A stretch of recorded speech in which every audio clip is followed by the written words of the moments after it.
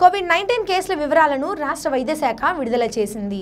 రాష్ట్ర వ్యాప్తంగా ముప్పై ఒక్క వేల నూట నలభై రెండు శాంపిల్స్ని పరీక్షించగా వెయ్యి ఐదు మందికి కోవిడ్ నైన్టీన్ పాజిటివ్గా నిర్ధారించారు. రాష్ట్రంలో కోవిడ్ వలన చిత్తూరులో ఒకరు కృష్ణాలో మరొకరు మరణించినట్లు వైద్య శాఖ తెలిపింది. రాష్ట్రంలోని వివిధ జిల్లాల్లో నమోదైన కోవిడ్ నైన్టీన్ కేసుల వివరాలు ఈ విధంగా ఉన్నాయి.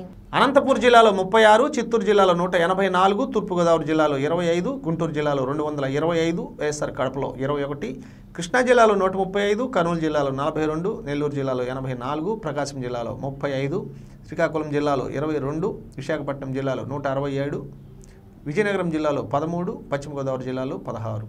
మొత్తంగా గడిచిన ఇరవై నాలుగు గంటల్లో ఒక వెయ్యి ఐదు కేసులు నమోదయ్యాయి.